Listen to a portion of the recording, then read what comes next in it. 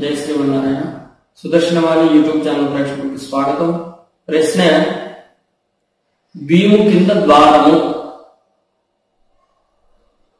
భీము కింద ద్వారము ఉంటే ధన నష్టం కలుగుతుందా? దైవ బలం తగ్గుతుందా? దైవ బలం తగ్గుతుందా అనేది పెట్టుకోవాలి మనం ప్రశ్నలో. ధనం గురించి మనం చెప్పట్లేదు కాబట్టి.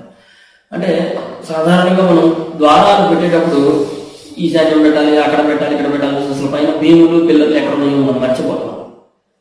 ఇటీవల మనం కట్టేస్తున్న బిల్డింగ్కి సుదర్శనవాణి ద్వారా వాస్తు పరిపూర్ణ వాస్తు ప్రకారం కట్టించే బిల్డింగ్ ఈ సూచనలను చెప్పి కట్టడం ఆయన చెప్పి కట్టమంటే మేస్త్రీకో ఇంజనీర్కో పాపం వాళ్ళు అద్భుతంగా కట్టారు. ఒక చిన్న మిస్టేక్ ఒక చోట చేశారు. ఇది చూడండి మనం ఇమేజ్ చూస్తే అది దేవుడి గది. దేవుడి గదికి వెనకాల విండో పెట్టించాను. దేవుని గదికి ద్వారం పెట్టించాను. అనుకోకుండా దేవుని గదికి ఉన్న పైన ఉన్న భీము కింద ద్వారం తీసుకొచ్చాను. చెగటిట్టలు పెట్టాను. అక్కడ మా మేస్త్రిని ఏందయ్యా?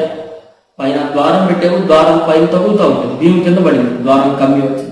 ప్లేస్ లేదంటే అవతల ఇంకో రెండో వైపు ఒక అడుగు జాగా ఉంది లోపల జాగా. అంటే ద్వారం నాలుగు అంగుళాలు యువతకు జరిగితే సరిపోయింది. దాన్ని చూసుకోకుండా ధనాధన పెట్టేశారు.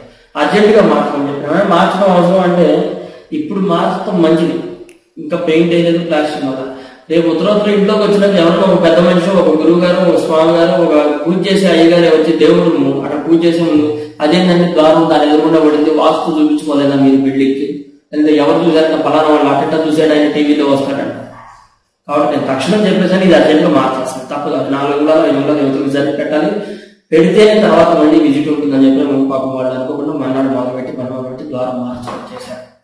కనుక ఏమంటే మనం నివసించే గృహాల్లో ప్రతి అంగుళం దగ్గర కూడా చెక్ చేయాలి. ప్రతి దాన్ని కూడా మనం జాగ్రత్త వహించడం అనేది మంచి పద్ధతి. చేసి ఉన్నారు